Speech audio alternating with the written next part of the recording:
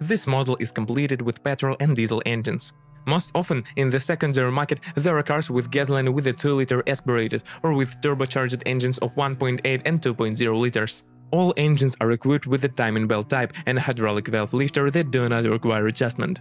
The 2-liter naturally aspirated engine is quite reliable and up to 150,000 km does not require special attention and after the specified mileage the engine begins to gradually eat up oil, up to 300 grams per 1000 km. Of the turbocharged engines, the most reliable unit with a volume of 1.8 liters but very demanding on the quality of lubricants. Under the condition of proper operation, the turbine will live 200-250,000 kilometers but a 2-liter engine can present unpleasant surprises, so in particular, after 100,000 km of run, carbon deposits and development form on the injection pump pusher and camshaft. Closer to 150,000 km, oil begins to drive through the valve cover. To fix this problem, you will have to pay about 250 USD. Usually, the cause of this phenomenon is a faulty crankcase ventilation valve, and in such cases, oil can press not only from under the gasket, but also enter the candle wells. After 100,000, the ignition coils fail one by one, the cost of one is about 50 USD.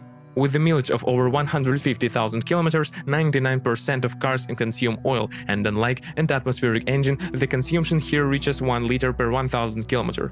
Sometimes decarbonizing the rings helps to eliminate this drawback.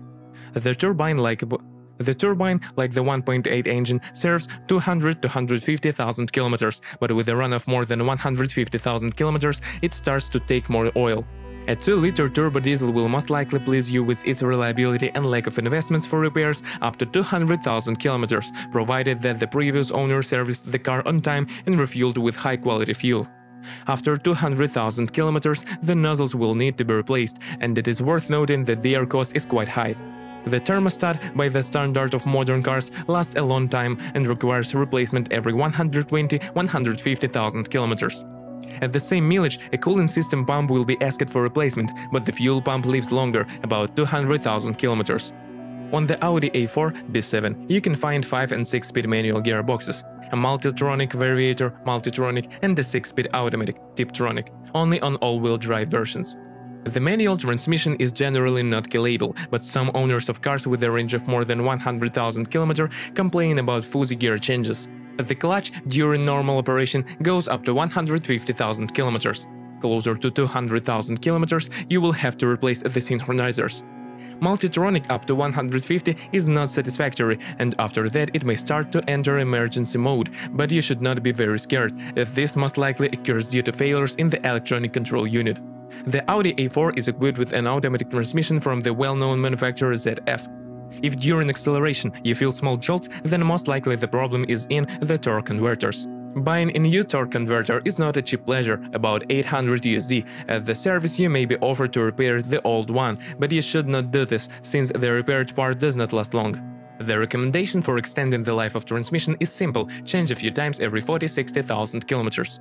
Audi A4, B7, front suspension, 4-link, rear and trapezoidal levers.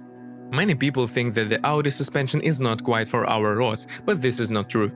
During normal operation, the suspension will have to be repaired once every 100,000 km, but in fairness, it's worth saying that you need to invest a lot in this unit. For example, replacing rattling levers in a circle will cost 8-900 USD, for shock absorbers, non-original, 3-400 USD. The owners usually have no complaints about the brake system, the pads here are of good quality and can last up to 60,000 kilometers. Closer to 200,000 kilometers, a steering rack repair will be required, which will cost 200-250 CU. If a leak occurs, it must be quickly eliminated. With a run of 150,000 kilometers or more, on many cars there is a play in the cardan bearing, and in order not to have more serious problems, it must be eliminated in time by replacing the bearing. Over time, in the Audi A4 cabin, airflow control begins to act up, as well as the recirculation system. In such a situation, usually the reason is the wear of the servos. If your air conditioner has stopped working, then first check the presence of refrigerant and the tightness of the system, then the operability of the air conditioning control sensor.